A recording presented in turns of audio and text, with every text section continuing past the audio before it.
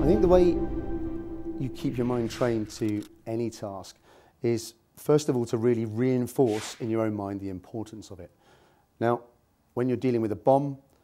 it's quite easy to do that because quite often you're the only person there that is actually you know, equipped or qualified to, to neutralize it. And there's also the moral aspect, the fact that you're there to protect civilians, protect the population, and you know, also potentially get forensics from that bomb so that you can you know, go left of the boom and find out who the perpetrator is and you know, get them locked up. So it's quite easy to sort of be mission focused in that respect. But with experience and training and the ability to really rationalize a problem and prioritize it, once you've identified that priority, that key aim, the, the crucial components that will enable you to achieve mission success, it's actually then very easy to focus on that and identify